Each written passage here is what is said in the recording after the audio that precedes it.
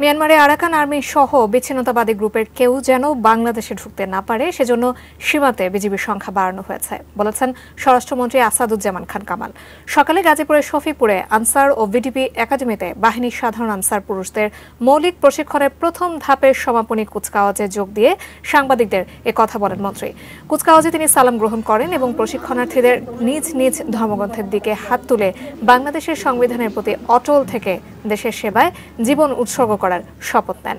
অনুষ্ঠানে বিশেষ অতিথি ছিলেন জননিরাপত্তা বিভাগের সিনিয়র সচিব, আনসার ও গ্রাম প্রতিরক্ষা বাহিনীর মহাপরিচালক ও অতিরিক্ত মহাপরিচালক এবং আনসার ও বিডিপি একাডেমির কমান্ড্যান্ট সহ বাহিনীর ঊর্ধ্বতনরা। কাউকে আমরা আরাকান আর্মি বলুন কিংবা ইসের আর্মি